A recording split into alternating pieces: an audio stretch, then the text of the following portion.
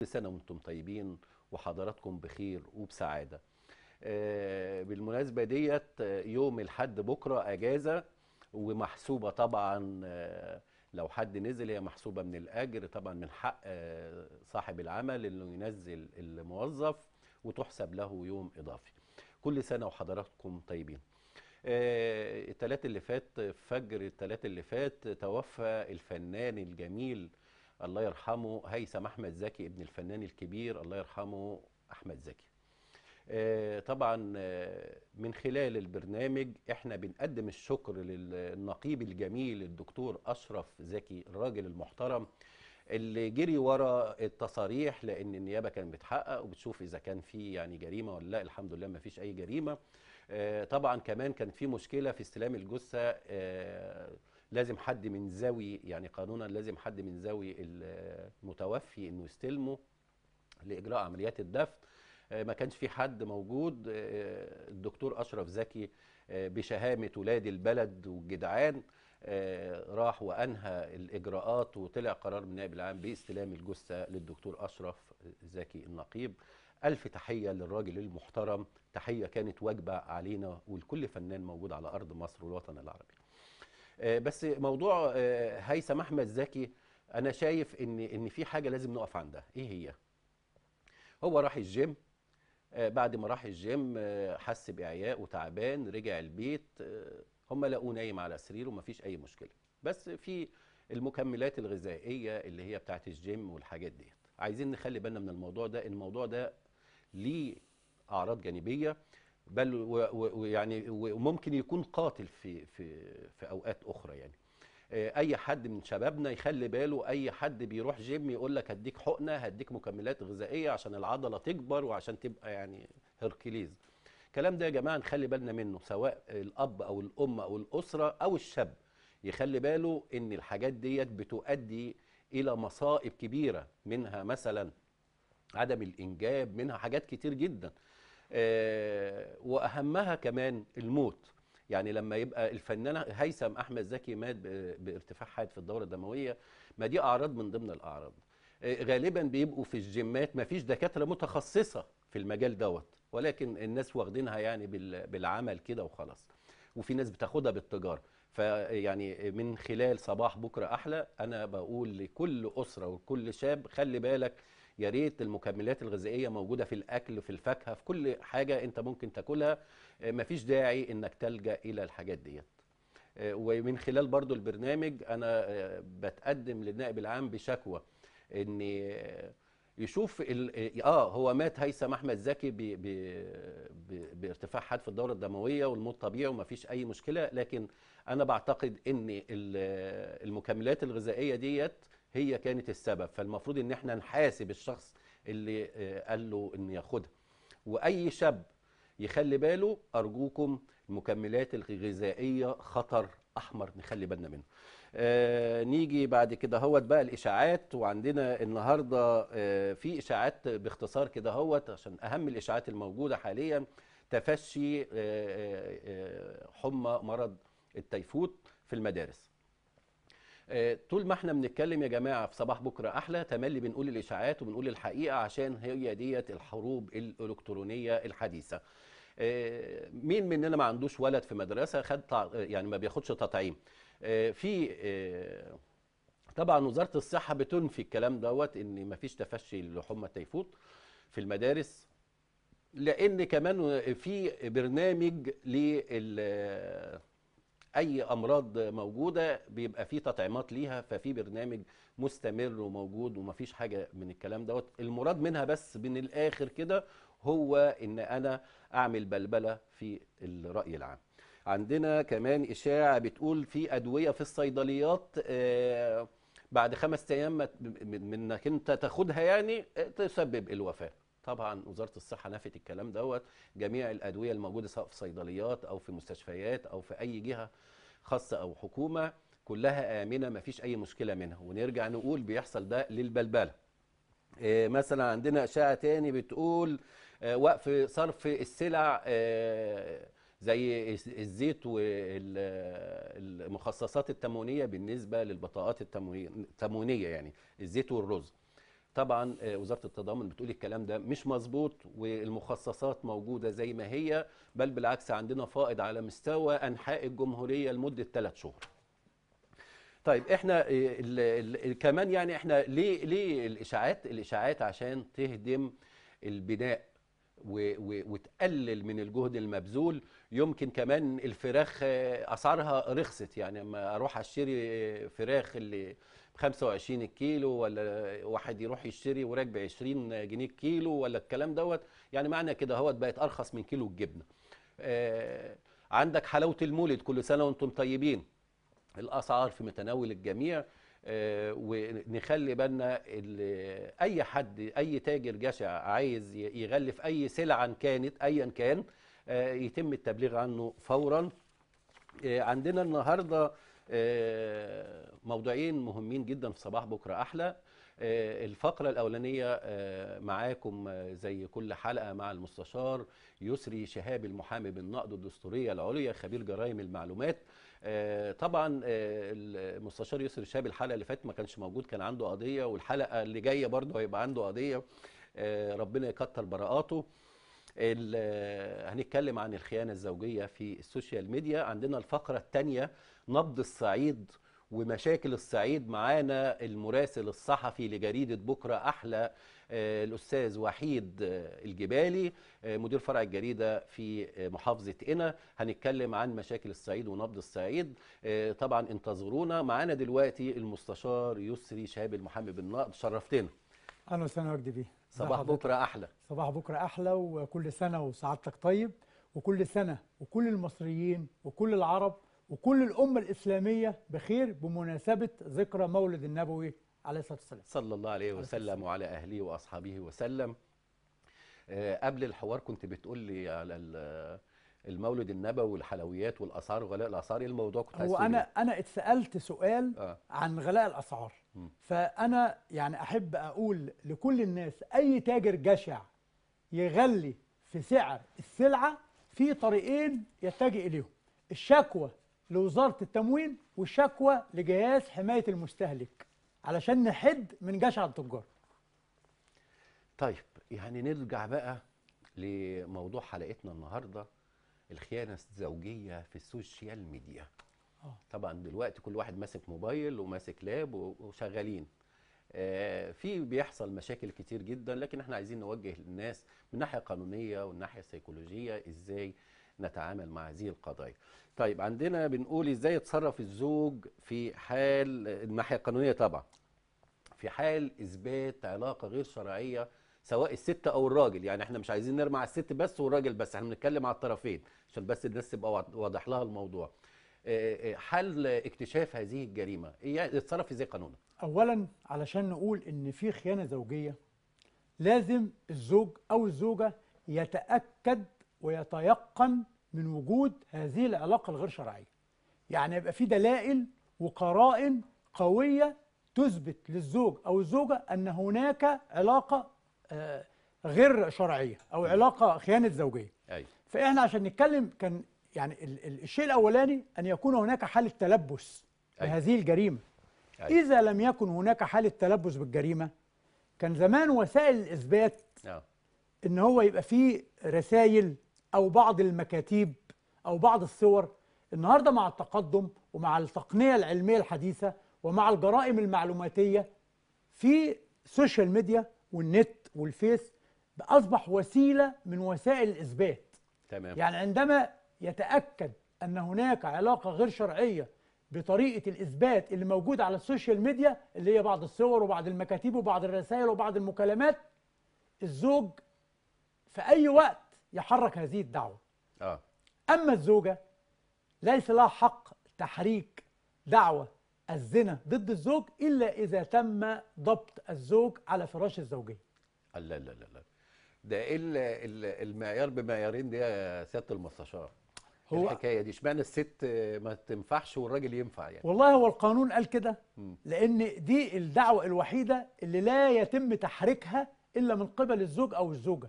تمام. يعني في مادة واحد ومادة اثنين ومادة ثلاثة من قانون الإجراءات الجنائية لا تحرك دعوى الزنا إلا بناء على شكوى إذا كانت شفهية أو كتابية من قبل الزوج أو الزوجة للسيد مأمور الضبط القضائي أو السيد وكيل النائب العام أو مباحث الإنترنت. زي ما إحنا ما اتكلمنا في القانون 175 لسنة 2018 الخاص بالجرائم المعلوماتية. أيوه بس أنت بتقول هنا هوت الست ملهاش الحق إنها ت... لا ليها الحق. آه. ولكن هي على مجال أوسع آه. للر- للرجل. آه. يعني الرجل إذا رأى دلائل أو قرائن تشير من قريب أو بعيد على ارتكاب الزوجة جريمة خيانة الزوجية فيتقدم بشكوى في أي وقت. أما الزوجة لا تقوم بتقديم هذه الشكوى إلا إذا تم ضبط الزوج آه. على فراش الزوجية. آه يعني ما ينفعش على ال social media؟ ما هو ال social media دي وسيلة وسائل إثبات جديدة. ما أصل آه. برضه الخيانة الزوجية درجات. أيوه. والزنا درجات. يعني ما أيوة. نجيبش خيانة زوجية عن طريق الرسائل زي حالة التلبس بالزنا. آه. أو ما نجيبش حالة ال- مثلا الرسائل والصور والمكالمات زي حالة التلبس على على فراش الزوجية. أيوه. هناك اختلاف. آه. نص المادة 309 من قانون العقوبات. عاقب الزاني وعاقب ال- الشريك وعاقب الزوج وعاقب الزوجة في حالة الخيانة ولكن برضو الخيانة درجات. آه. وده اللي إحنا بنتكلم فيه. طيب الخيانة درجات وطبعا مبروك للرجالة إن ليهم وضعية مختلفة في الجزئية ديت بس أنا شايف إن لازم يبقى في مساواة. طيب يا ترى المستشار يسري شهاب هل ال- العلاقة علاقة. اللي هي الصداقة ما بين ال- الأطراف وبعضيها يعني صداقة غريب هل بتجرمها يجرمها القانون؟ يعني أبعت له وردة يبعت لي لايك يبعت لي مش عارف إيه صور حب الكلام ده. هل دوت الصداقة بتجرم قانونا؟ اولا الصداقة أجمل أنواع العلاقات الإنسانية ده بصفة عامة. لكن أنت معاليك النهارده بتتكلم على الصداقة على ال social media. كيف تتم الصداقة في مجتمع غير صادق. النهارده أنت بتصاحب حد على الفيس ممكن يسمي نفسه زهرة الرحمن أو أيوة. الوردة البيضاء أيوة. أو الوردة الحمراء. أيوه. تعرف هل أنت تعرف شخصيته إيه؟ أيوه. جنسه إيه؟ ممكن يكون ولد ويطلع بنت. صحيح. ممكن تكون بنت وتطلع ولد. آه. ممكن يكون متدين ويطلع مش متدين صحيح. منحرف. آه. ممكن يعلق منشورات إسلامية وهو ملوش علاقة بالإسلام. آه. ممكن ينزل منشورات أخلاقية وهو ليس له علاقة بالأخلاق. تمام. فهنا كيف تتم الصداقة. فالصداقة على إلا إذا بقى كان هناك إيه. أحد المقربين والمعرفين لك شخصيا.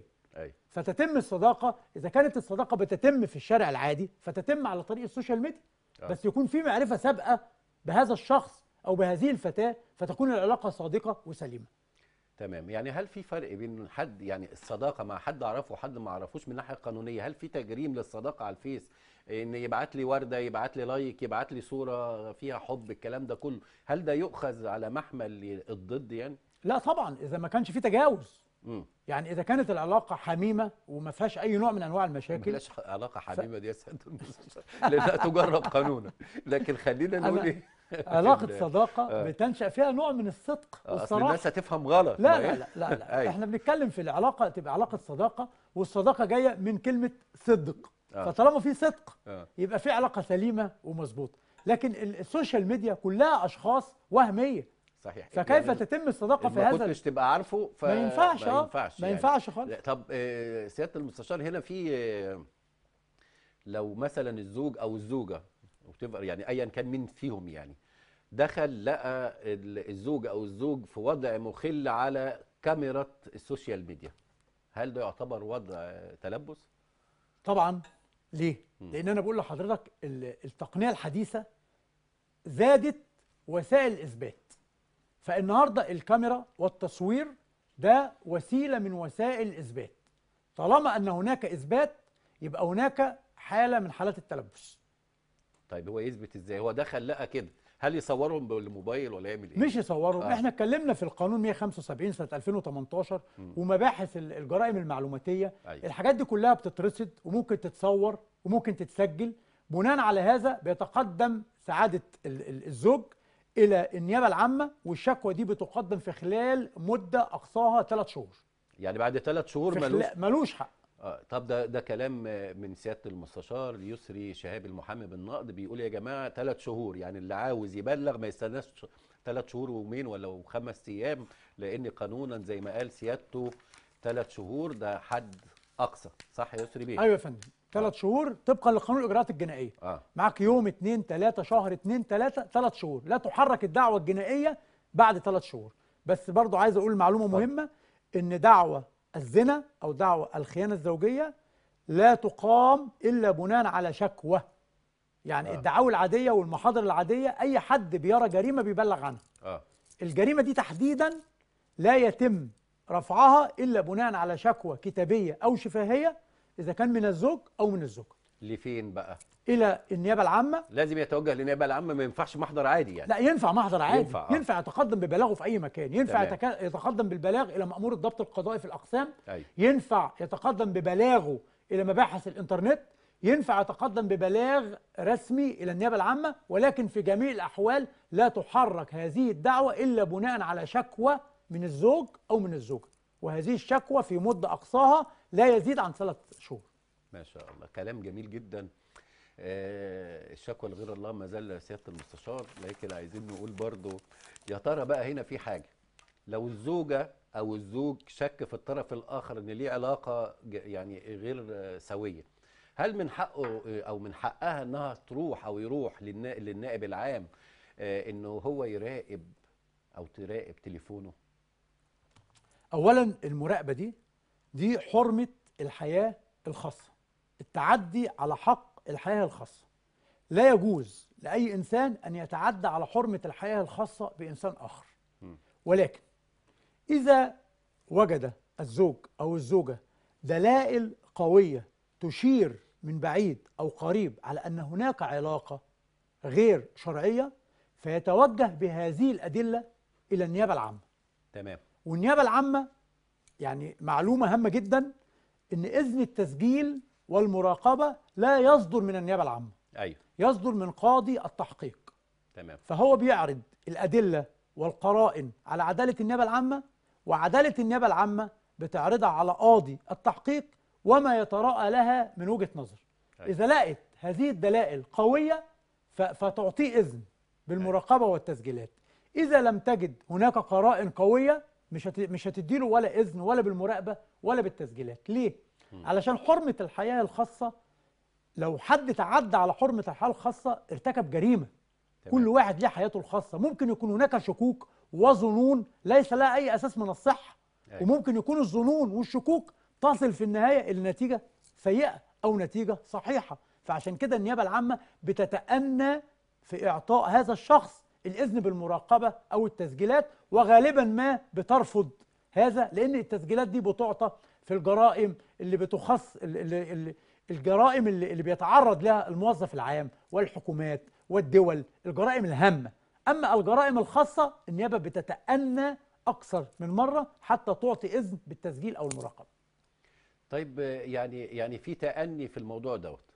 تأني شديد جدا. آه يعني طب أنا دلوقتي لو واحد راح يبلغ وقال لهم يا جماعة أنا هو عندي إثباتات وأدي الصفحة بتاعتها وأدي وقد يكون ربما يكون ملفقها يعني. تمام؟ آه، هل القاضي هنا هو بيد بي بي بيجيب الست أو بيجيب الراجل ايا كان مين اللي مبلغ ومين الظالم ومين المظلوم يعني؟ هل بيجيبه ويسأله وبعدين يراقب ولا الكلام ده بيبقى ليه ترتيب مختلف؟ لا لا هو مش ليه ترتيب مختلف ولا بالصورة اللي حضرتك بتتكلم كده. أيوه. هو الموضوع إيه؟ الموضوع إن أنت شفت حالة حالة تشككت في أمر ما. و- واصطنعت ولا ما اصطنعتش ولا الدلائل موجودة حقيقة لا في دلائل مثلا. دلائل. على فكرة أنا بسأل أسئلة ال- الجمهور. المشاهدين. آه. أنا مش آه. أيوه. إذا كان هنا إذا كانت الدلائل دي مصطنعة فالنيابة العامة هتكتشف الكلام ده. النيابة العامة دي جهة تحقيق صارمة وعادلة وهتتوصل في النهاية إلى حقيقة الأمر. آه، يعني لو في راجل آه، أو ست ايا كان يعني فيهم بنتكلم عن الراجل أو الست بيلفق لحد منهم صفحة مثلا داخل من اللاب بتوعه عمل لها صفحة ولفق لها حاجات على إنها بتكلم حد أو العكس مثلا. جريمة تشهير. تشهير وابتزاز. وابتزاز. اتكلمنا فيها الحلقة اللي فاتت. آه يعني برضو كزوج أو زوجة. طالما آه. أن هناك اصطناع لأدلة فهذه تعد جريمة. مجرد إنه يصطنع دليل ضدك أو ضدي أو ضد الزوجة أو ضد أي شخص ما ده في حد ذاته جريمة. اصطناع الدليل الوهمي الخطأ آه. دي جريمة. لكن إذا كانت الدلائل قوية وسليمة النيابة بتتأنى في أن تعطي هذا الشخص إذن بالتسجيل والمراقبة حفاظا على الكيان الأسري. جميل.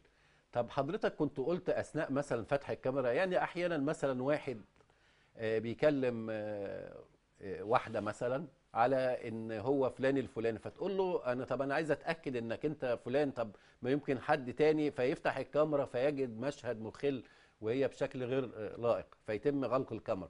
في الحالة دي هل يحاسب من الناحية القانونية؟ هو هنا حسن النية الراجل. هو حسن هو حسن النية. هو, هو ما يعرفش. ما يعرفش ان هناك جريمة. آه. لكن لو تمادى في هذه لو تمادى بقى هل هي جريمة. متزوجة ولا مش متزوجة أيوه نفهم بقى الناس آه. ودي لو- حاجة جميلة جدا آه. إن إحنا في كل مرة آه، يسري بيه شهاب بيوضح للناس الحاجات المشاكل اللي موجودة حوالينا من الناحيه القانونيه آه بقى إذا كانت مش متزوجة فده يعد فعل فاضح آه أما إذا كانت متزوجة آه. فده يعد شريك في الخيانة الزوجية وكل من ساعد وكل من شارك وكل من اتفق على ارتكاب جريمة يعاقب معاقبة الفاعل الاصلي آه. يبقى هو هنا شريك في قضية الزنا.